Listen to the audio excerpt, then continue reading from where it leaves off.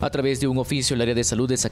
ha confirmado que se prohíben las procesiones en ese municipio, incluida Antigua Guatemala. Las autoridades han señalado que la razón principal para poder suspender los cortejos procesionales es que la población guatemalteca y en especial el departamento de Zacatepeque se encuentra en alto riesgo de contagio por el COVID-19. Además, han explicado que de acuerdo al semáforo epidemiológico, las alertas se han mantenido entre rojo y naranja en el municipio, lo que representa un alto riesgo de contagio. Según lo señaló además esta área de salud, la decisión se ha tomado en conjunto con el vicario episcopal y asimismo han señalado a través de este oficio que se intuye con facilidad que la curva de contagios que actualmente se encuentra en ascenso se mantenga de igual manera hasta las fechas cercanas a la cuaresma y Semana Santa, lo cual constituye ese riesgo de poder contagiarse a través de las aglomeraciones incontrolables por la participación presencial de la población guatemalteca. La cartera también ha hecho la observación de que en el pasado no se han tenido en el municipio la capacidad de poder controlar la afluencia masiva de personas ni la aglomeración en las calles, y por esa razón tampoco se cree que se pueda realizar durante este 2022, y al no presentar ningún tipo de objeción, se tomó la decisión entonces de poder suspender todo tipo de cortejos procesionales. Sin embargo, han hecho la salvedad en este caso, que las velaciones y los conciertos también se estarán analizando para poder llevarlos a cabo siempre con las medidas de bioseguridad, según se notificó. Nuevo Mundo Noticias, Brian Choi.